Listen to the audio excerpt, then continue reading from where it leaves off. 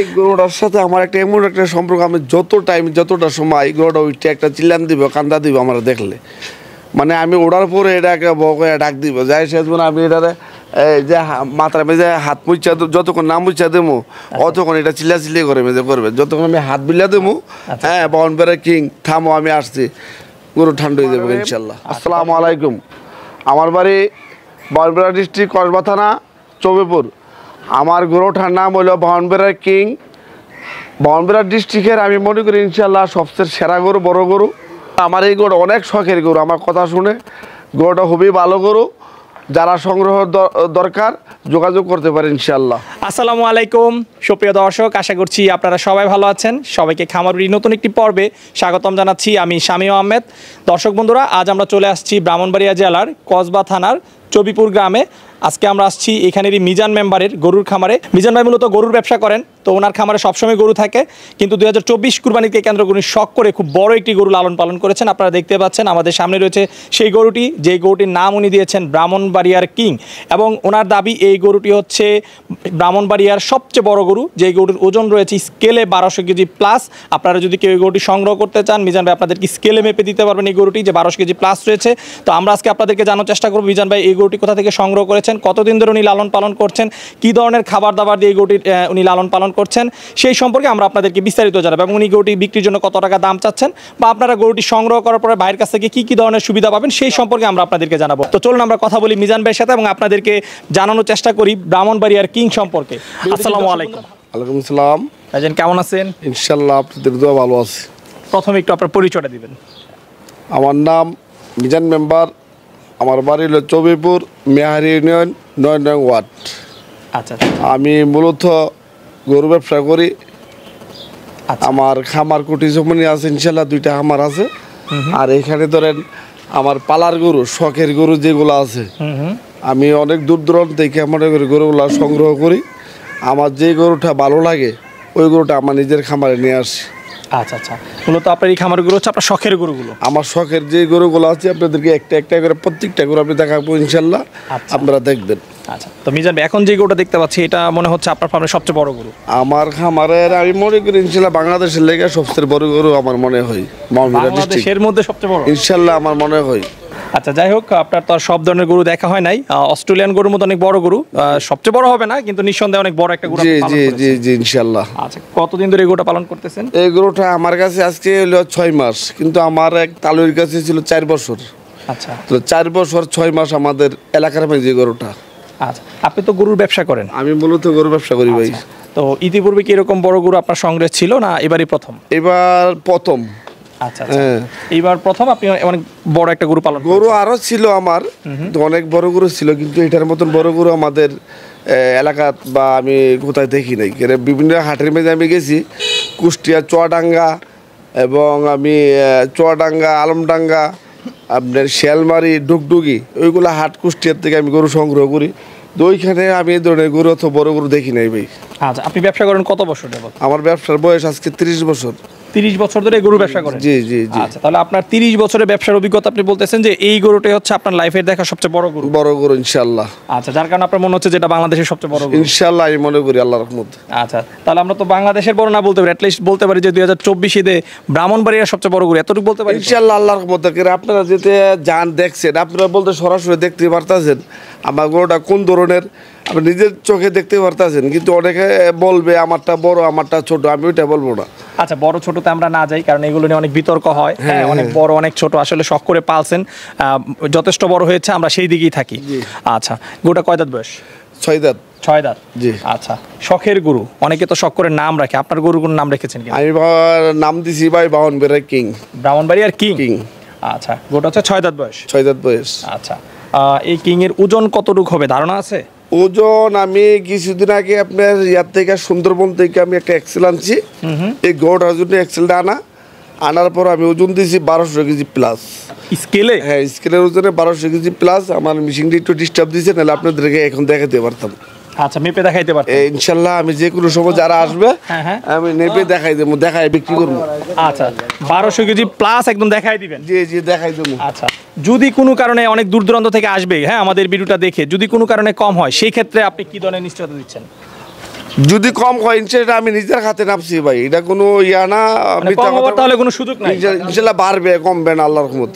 আচ্ছা আর যদি কোনো কারণে কম হয় আমি সেই ক্ষেত্রে বলতেছি। কম তো সময় যদি সমস্যা থাকে- মিশিং ইনশাআল্লাহ নতুন মিশিং আচ্ছা, আচ্ছা। সমস্যা নাই আমি নিজের হাতে ইয়া দিছি। তারপর আমি আবার মনে করি মিশিংটা ওই সমস্যা দেখা দিছে। ঠিক করার জন্য দিছি। নাহলে আমি আজকে আবার আপনাদেরকে দেখা দেখাতে পারতাম। আচ্ছা আচ্ছা। এই যে ব্রাউনবারের কিং গরুটা আপনি ছয় মাস ধরে পালন করতেছেন বারোশো কেজি প্লাস অনেক বড় একটা গরু। কি ধরনের খাবার দাবার দিয়ে আপনি পালন খাবার ভাই আমি যে খাবার দিই এই খাবার দিয়ে খামারে খাওয়া কি না আমি জানি না। আচ্ছা। আমি মনে করি মূলত গম ভুট্টা ধান চনা বুট বুটের ছোলা চিরা গমের ভুসি ধানের গুঁড়া রাব এগুলো আমি খাওয়াই ভাই। কোনো ফিট টিট আবি যাবি জিনিস কোনো আমার এখানে আপনারা দেখে যাবেন এগুলো আমি ভাই খাওয়াই না। আচ্ছা আচ্ছা। দৈনিক দানাদার খাবার কত কেজি দিচ্ছেন আমার এটা খানা দুই বেলা খানা আমার যা চব্বিশ কেজি। দুই বেলায় চব্বিশ কেজি? বারো বারো চব্বিশ কেজি খাবার লাগে। আচ্ছা দানাদারের পাশাপাশি আর কি কি খাবার দিচ্ছেন? আর অন্য কিছু ভাই কাঁচা ঘাস হালকা কাঁচা ঘাস দিই আর খড় দিই। কাঁচা ঘাস এবং খের? আচ্ছা। তো চব্বিশ কেজি দানাদার গেলে তো মোটামুটি বেশ ভালো একটা টাকা দৈনিক খরচ আলু খরচ। আমার হিসাবে পাই একুশশো টাকা দৈনিক গুঁড়োটার তুলে একুশশো টাকা খরচ। একুশশো টাকা? একুশশো টাকা খরচ। আচ্ছা তাহলে তো অনেক টাকা খরচ যাচ্ছে। সব আপনার এক কেজি ছোলার দাম কয় টাকা দেখেন? এক কেজি- মোটরের ছোলার দাম কত টাকা? এক কেজি গমের দাম কত টাকা? এক কেজি ভুট্টার দাম কত টাকা? হিসাব করে দেখেন। এরপরে গোড়ার লেগে একটা পারমেন্ট একটা লোক আছে সবসময়। আচ্ছা আচ্ছা। এই গোড়া দেখার জন্য। আচ্ছা।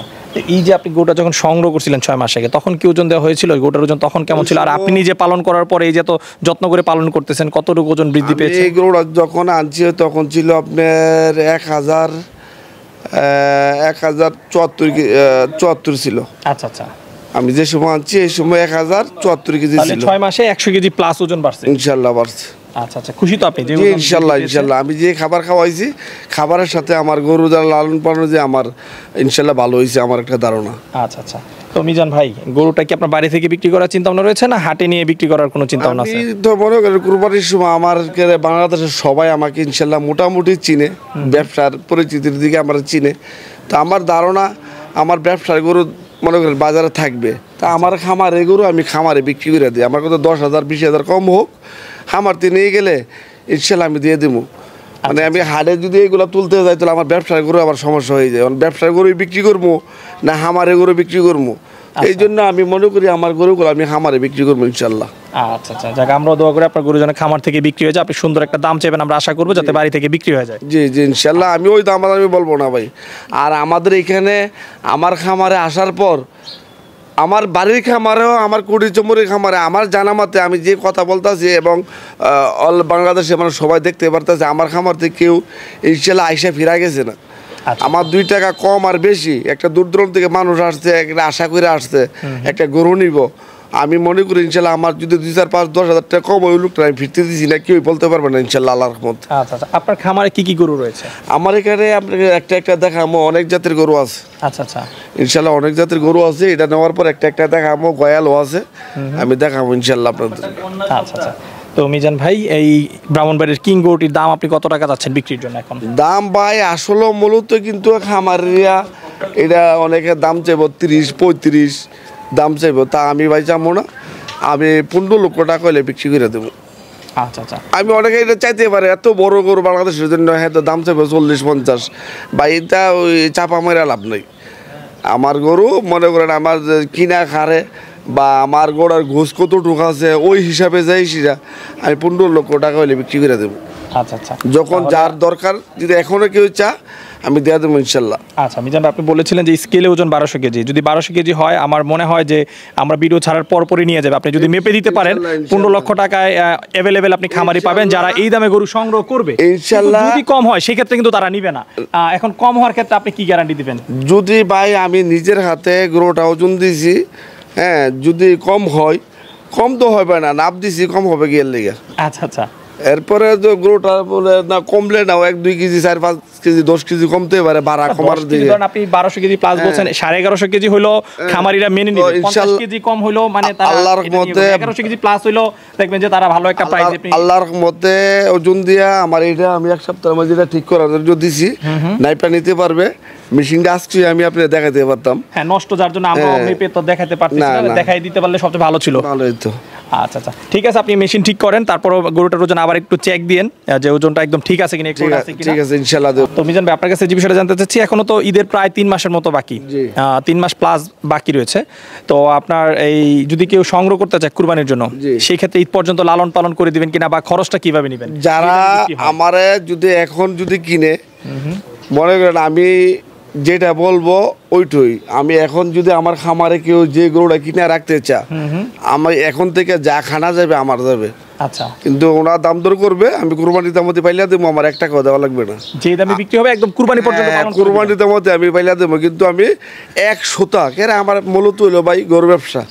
আমার খেলা মেলা হইল গরু দিয়া আমার অন্য কোনো ব্যবসা নাই। আমার ছোটোর থেকে আমার গরু নিয়ে হইল সবচেয়ে খেলাধুলা। আমার হইল এটা রিজিক। আমার এই ব্যবসাটা দিয়ে, এই গরু দিয়ে আমার সব কিছু হয়েছে আল্লাহ দুইটা যা কিছু করছে গরু দিয়া। তো আমি গরুটা বিক্রি করে ওটা খানা কম দেবো, এটা আমার দ্বারা ভাই সম্ভব না। আমি এখন যে দামে বিক্রি করব, কুরবানির একদিন আগে, দুই দিন আগে যারা নিবে, আমি এখন যেভাবে খাওয়াই গেছি, ওইভাবে খাওয়াই যাব। এক সুতা এক দানা দানা খাবার যদি কম খাওয়াইতে, এটা দায় আমি থাকব ইনশাল্লাহ। আচ্ছা আচ্ছা। মিজান ভাই, অনেক শখ করে গরুটা পালন করেছেন। বিক্রি করে দিলে খারাপ লাগবে না? এটা তো ভাই স্বাভাবিক।